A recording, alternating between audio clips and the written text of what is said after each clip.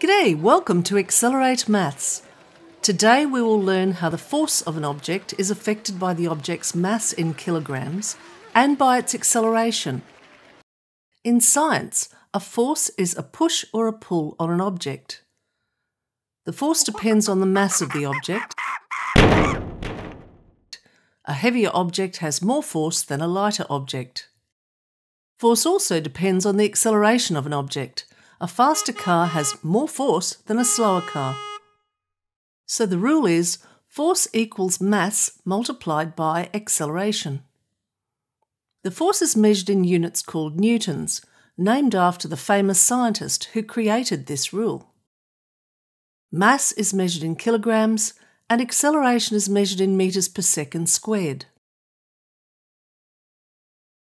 Let's see an example. A toy train has a mass of 5 kilograms. It accelerates at 2 metres per second squared. What force does it have? Okay, let's put this in perspective. A mass of 5 kilograms is the same as a mass of 5 litres of water. The train's acceleration of 2 metres per second squared means that the train speeds up by 2 metres per second every second. That's like speeding up by 7 kilometres per hour every second. Now for the rule. Force equals mass multiplied by acceleration. That's F equals m multiplied by a. The mass of this toy train is 5 kilograms. Its acceleration is 2 metres per second squared. So the force of this toy train is only 10 newtons. To put this in perspective, this toy train could probably knock over a container with one litre of water. If this toy train speeds up even more, it will have more force. The toy train has a mass of 5 kilograms. It accelerates at 3 metres per second squared. What force does it have now? Okay, let's put this in perspective. A mass of 5 kilograms is the same as a mass of 5 litres of water. The train's acceleration of 3 metres per second squared means that the train speeds up by 3 metres per second every second, or by about 10 kilometres per hour every second. Now for the rule. Force equals mass multiplied by acceleration.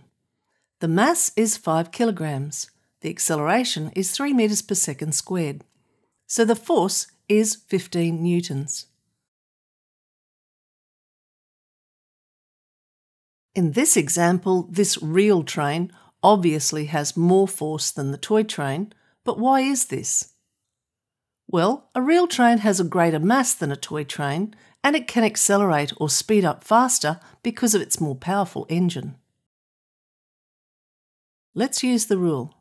The force equals the greater mass of 10 tonnes, that's 10,000 kilograms, multiplied by the greater acceleration of 6 metres per second squared. The real train has an enormous force of 60,000 newtons. It could knock over a large truck.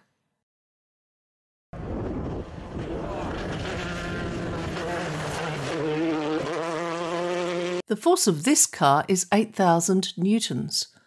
It accelerates at 4 metres per second squared. What is the mass of the car? In this example, we will rearrange the rule to find the mass of the object. In the force rule, mass is multiplied by acceleration. But we want the mass as the subject of the rule by itself, so we divide both sides of the equation by the acceleration. The rule for the mass equals force divided by acceleration. The force is 8,000 newtons divided by the acceleration of 4 metres per second squared. So the mass of the car is 2,000 kilograms. That's 2 tonnes.